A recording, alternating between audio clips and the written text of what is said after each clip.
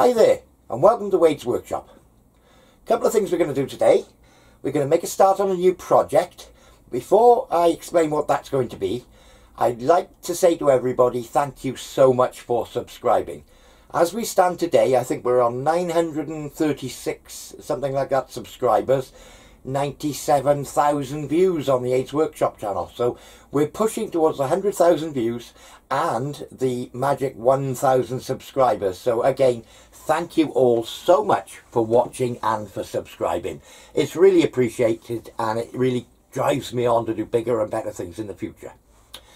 So let's talk about this next project. I just kicked the toolbox on the floor here. Let's talk about the next project. I'm going to make what's known as a fire piston. Now, I'm not the first person to have made one of these, and certainly not to have shown making it on YouTube. Um, the particular one I'm going to make, I'm going to give full credit to a guy called Clickspring, who's uh, got a YouTube channel. This guy, uh, Australian guy, I believe, he's absolutely awesome what he can do with his hand, uh, hand fitting, hand making clocks and things like that mostly. He's making a copy of the Antikythera mechanism using all the traditional methods that probably would have been used at the time. So yeah, Clickspring's the guy who I've seen make one of these. It wasn't him that inspired me to make it. I've seen these things being used, um, wooden ones and what have you in the past and thought I'd like to make one. Did a bit of research on YouTube and Clickspring, who is somebody who I do follow, actually has done this project. But I'm going to go into it in some sort of detail in a way that it would be shown as a beginner on a new lathe um, a beginner would be able to make it. So let's get straight on with that. So first of all, I had to buy a bit of material for this job. It was made from stock that I didn't have in stock. I tend to buy material by the meter or sometimes two meters depending on how much I'm going to use. So what I've actually got is a meter length of three quarter inch brass, a meter length of three eighths of an inch brass, and a meter length of three quarter inch aluminium. I've got plenty of aluminium here, but uh, it's all sort of inch and a half, but this calls for a roughly three quarter. Rather than waste all that aluminium, I bought a length of it. Now, what we're going to need for this project is nowhere near a meter, but it's good to have the stock. It's going to be five inches of 3 8 diameter brass, five inches of um, three quarter diameter aluminium and three inches of the three quarter diameter brass. So that's the material you're going to need for the brass and aluminium parts of it. And there are a few other bits and bobs as well, which I'll explain. So if you want to go uh, sort of copy this project, you'll need three quarter aluminium, three quarter brass and three eight brass. And you need approximately five inches of all of those. So I'll open the packet up, we'll cut ourselves some bits off the end and we'll start machining. So I've just chopped off the material I need. And as we were saying, 3 eighths diameter brass, 5 inch long, 3 quarter brass, 3 inch long, and 3 quarter aluminium, again 5 inch long. These aren't the finished lengths, but it leaves approximately an inch on for machining um, to hold in the chuck, and this is going to make two ends. If you haven't seen the Clickspring version of this being made, uh, that'll be the last time I mention it, um, what we have is basically we're making a piston, a cylinder and a cylinder head. The aluminium is going to make the cylinder. The smaller diameter brass is going to make a piston. It's going to slide up and down in here. One piece of this is going to be a cylinder head on one end of the aluminium and the other piece of this is going to be the little pusher for the piston. So First thing we'll do, I believe, we're going to make the cylinder. So let's get on with that. So, the finished size of the cylinder is going to be approximately 95 millimeters long, or just over 95. So if I have 95 sticking out, I've actually got 102 sticking out. That'll be, give me more than enough for machining the outside of this. So let's just see how that's running.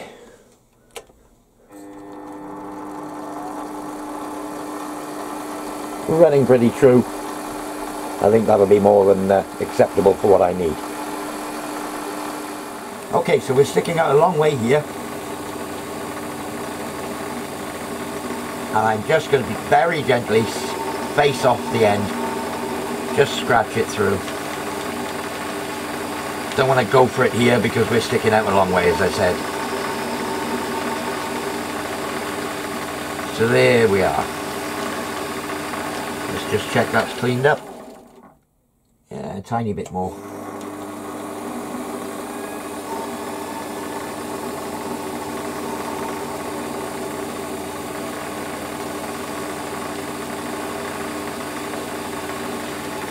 Speed things up a bit.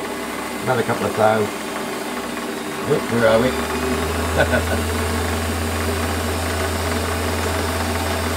ah, let's just put a finish on there. Finishing cut. Happy days. So next step is we're going to centre drill the end. I think you've seen me do this a million times. Bit of WD and we'll centre drill the end.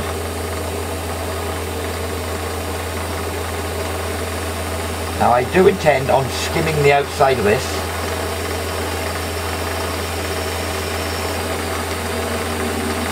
a little bit more. Find my little brush. And this end does have to be drilled out. So what I'm going to do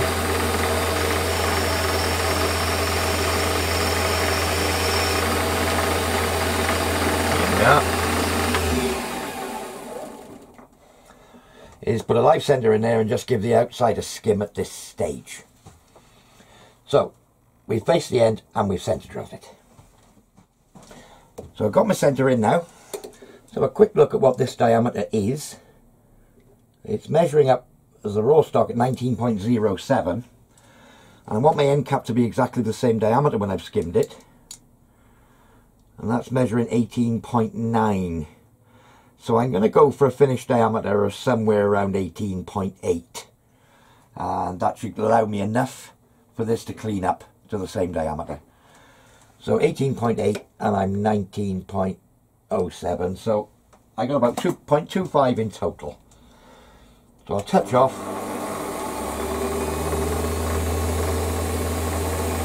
Just touch in there. Give myself a zero.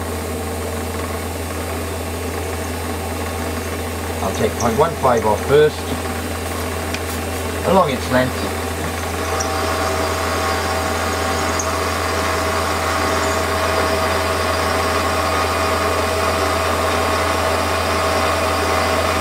We just give a light skim along there. We'll have another measure and it should be something like 2 thou a side or 0.05 a side to come off. And I just wind that on with my DRO.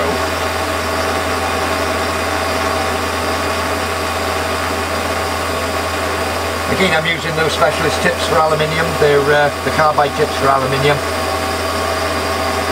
And it's a nice fresh tip in there. It's doing a beautiful job on that finish.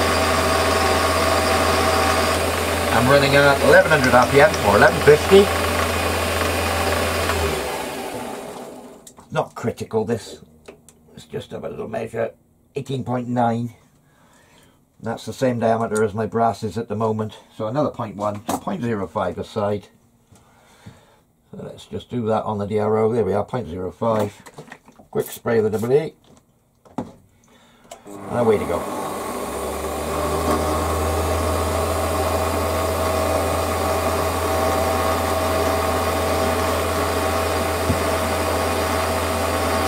Going to be decorating this afterwards. Do grooves and what have you. Make it look nice. Looking at that finish, I probably won't need to do any polishing at all, but uh, we may do at the end if we get some machining marks and what have you. But the outside isn't functional. It's always nice to have a good finish anyway. So we'll just run this up to the chuck, or close to the chuck, shall I say.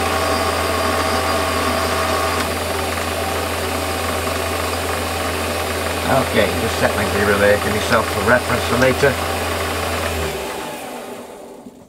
So there we are. I've run it at 18.75, absolutely fine. So that 18.9, it will become clear, 0.95, will clean up to match the same diameter at a later date. And we've got a lovely finish, end faced, and a centre Now, I believe the original spec had a quarter inch deep M10 by 1.25, M10 fine thread in there. Now, I haven't got an M10 fine die to make the mating part, but I do have an M10 by 1.5, the standard M10. So what I'm going to do is make the thread a little bit deeper, make the overall thing a little bit deeper. I'm going to put approximately 10 mil of thread in there at M10. M10 standard metric, M10 coarse as we call it. So up with the drill, and we'll drill it out, perhaps an inch or so, and then tap it out. M10 coarse. 6 mil drill up, the WD-40 again, and we'll rough it out. 6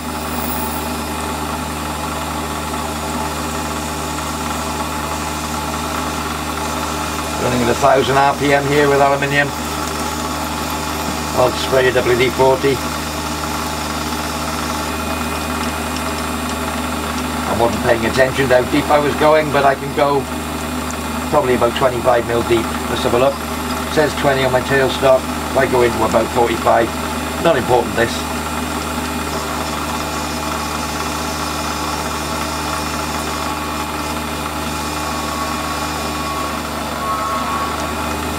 There we are.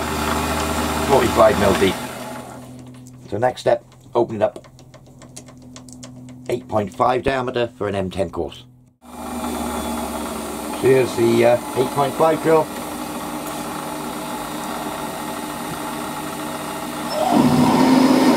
Tapping drill for M10 metric.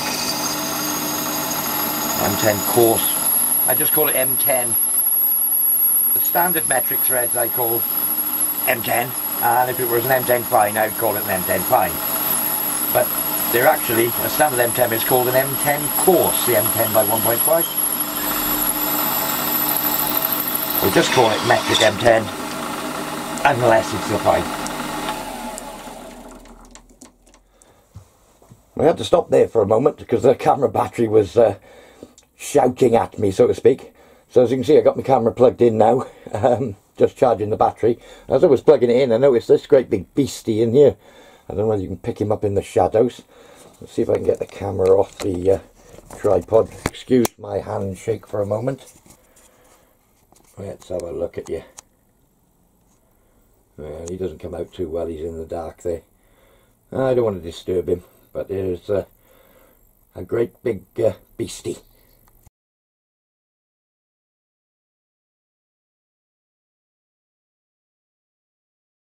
I've just put my 8mm drill up in the chuck and it's sticking out about 89 mil to the point. So I'm going to stop this drill about 5 mil from the chuck, something like that. So I can go all the way in until I'm 5 millimeters from the chuck because I haven't got that much travel on my tailstock to be able to do a measurement, so to speak. But I've got a visual guide on the drill bit. Cutlery?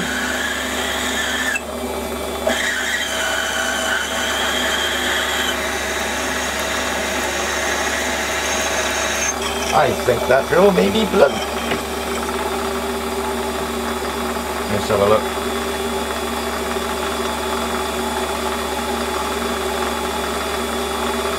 Yeah, it's not the best. I'll put in for sharpening. Never mind, I'll grab an 8.1, that'll do.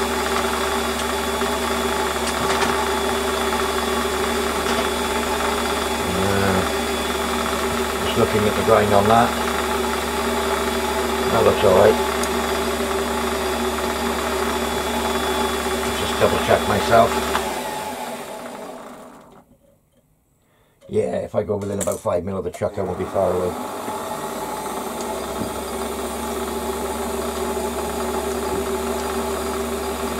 Let's have a look.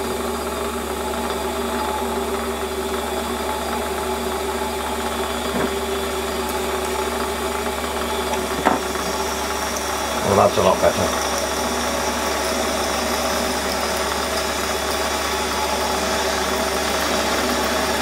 I've used that 8 mil drill a lot. I suppose uh, I don't tend to sharpen them until I notice that they're blunt. um, and that was noticeably blunt. I'll just peck away at this.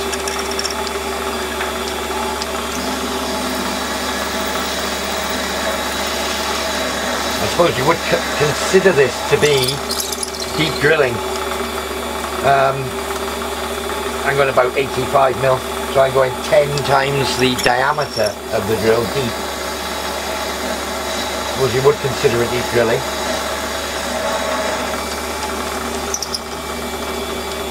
Not deep drilling like rifle drilling, but uh, yeah, 10 times the diameter of the drill, I suppose you would call that deep drilling. Or certainly to the uh, full depth of the drill. And a bit.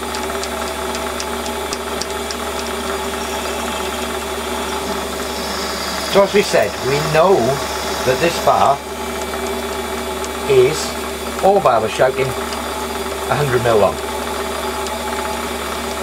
I want to leave 10 millimeters of thread in the other end, which is already there, of M10. This is going to be a smaller diameter, not much, but it is smaller. 9.4 as we said. Going to drill it that deep.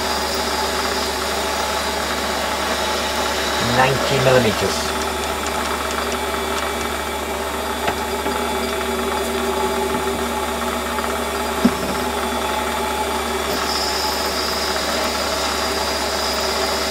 I'm not in a great hurry with this.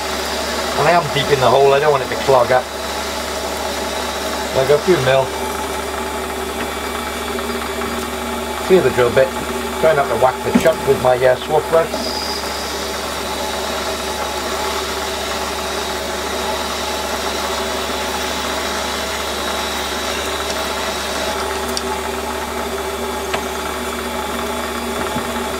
As you can see I'm doing it in stages here, not just trying to go for it.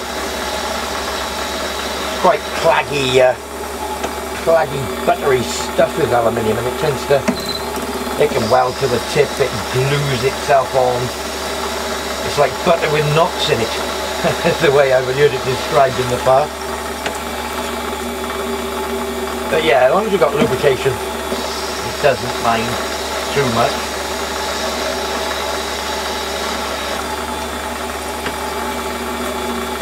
some point before I get full depth, it'll probably break through into the back of that uh, threaded hole. getting to the point now where the flutes, I'll give you a shot of this, where the flutes have run out and I'm actually entering with the plain shank of the drill. I'll show you that. Okay. Okay, keeping it lubricated. As you can see that drill has gone beyond the flutes. Now there'll be nowhere for the swarf to go. So I'm taking care to clear out before I fill these flutes. I've actually broken through into that M10 now so it's not so dangerous. And I'll wind in, yeah it seems fine, until I get to about 5 mil from the chuck. So I know I'm in about 85 mil there again, because I haven't got the travel on my tailstock to do it in one hit with a measurement, I've just put a bit of tape on my drill, 90 millimeters back from the point, so I know if I wind it in until the tape is flush with the front of the job, I will have gone 90 millimeters. But that's to the point, so I'll probably be actually to the shoulder, probably about 88. So I may just enter that tape just a spot. I have to cut the masking tape back to give myself a, a bit to hold on in the chuck so I'm not gripping on the tape.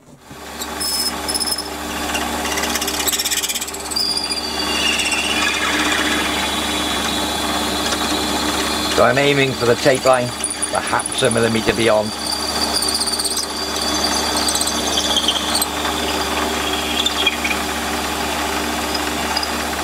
Keep clearing out the swarf out of the cut.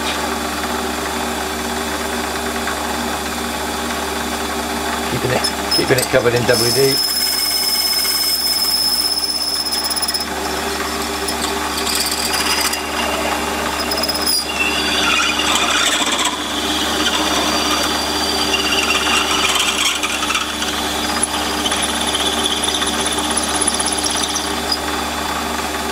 Expecting the cut to get a little deeper in this last 5 mil because uh,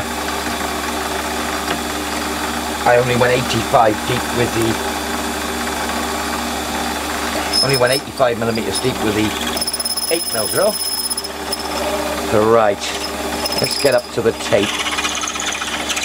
I think I'll stop at the tape on this one. There.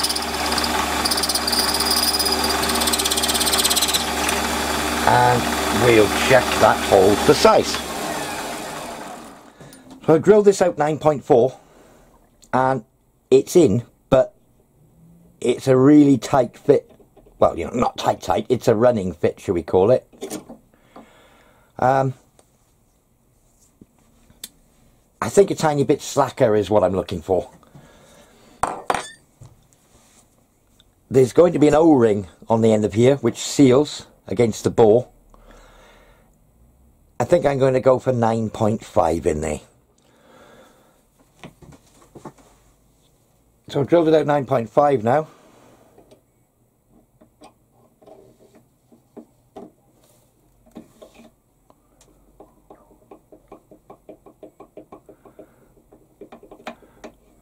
Bit of play in it. I'll just uh, see what depths we're at. Uh,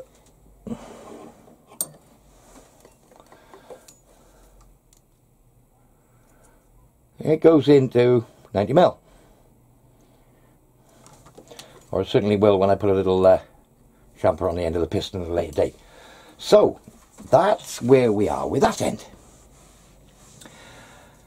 So, this being the cylinder bore, this being the piston, this will be the piston that goes up the cylinder bore to a stop at the end, which will be the cylinder head, which will have 10 millimeter long thread and will come right through the M10 in the back end of this and be virtually exactly on the end of this piston. And I got a bit of play in there. That's what I'm looking for. I'm feeling this play and looking at my clearance. I want a little bit more play so I'm going to go for a 9.6 I think so my finished story is I have a 9.7 mil drilled hole up in there, 90 millimeters deep. And that'll give approximately 0.3 clearance, six hour side. That should be enough to get my O-ring in there and still work as a compressive O-ring.